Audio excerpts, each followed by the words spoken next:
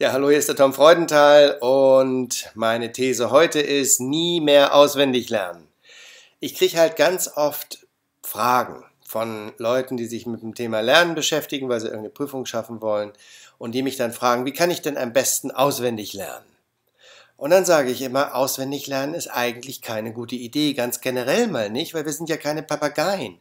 Auswendig lernen per Definition, so wie ich das verstehe, heißt im Grunde, dass ich einfach stur lerne etwas, was da steht, wiederzugeben, genauso wie es da steht.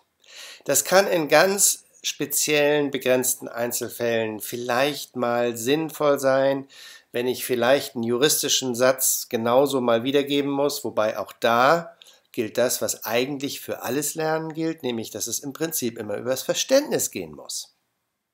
Weil das Wissen, was man sich einfach nur durch Auswendiglernen antrainiert, da hat man ungefähr so viel von wie ein Papagei, der Worte wiedergeben kann, nämlich fast gar nichts. Es geht ja darum, die Informationen anzuwenden, da was mitzumachen konstruktiv, das kreativ irgendwie weiterzuentwickeln oder auf Situationen anzuwenden oder damit einen Prozess zu starten oder ein Projekt oder irgendetwas zu tun, was sinnvoll ist. Aber sinnvoll ist ja nicht irgendwas auswendig gelerntes wiederzugeben. Ich meine, wo braucht man denn das im wirklichen Leben? Außer vielleicht mal in der Prüfung. Aber selbst da geht es doch eigentlich darum, den Kern der Information zu verstehen, das einzubetten in einen größeren Zusammenhang, in Relation zu setzen mit anderen Dingen, die man lernt, die wichtig sind, um ein tieferes Verständnis zu erreichen für das, mit dem man sich beschäftigt.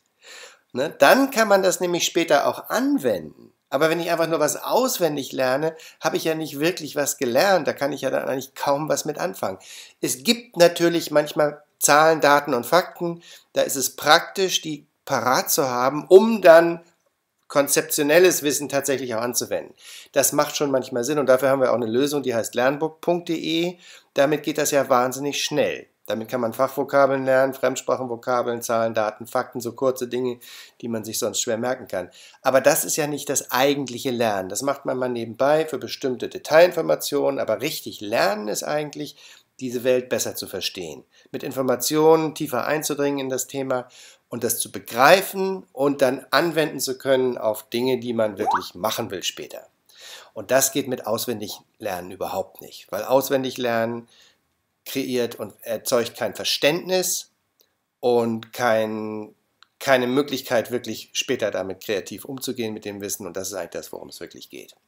Also, wenn du lernen willst, wie man das früher in der Schule gemacht hat, um irgendeinen Test zu bestehen, dann ist das vielleicht mal eine Notfallsituation, die man mal ausnahmsweise machen kann, wenn man das unbedingt braucht, um dann weiterzukommen. Aber grundsätzlich ist das kein Lernen, sondern das ist einfach nur Wiedergeben. Das ist das, was die Papageien machen und das ist, das ist nicht das, das wollen eigentlich auch tun, was einem gesagt wird.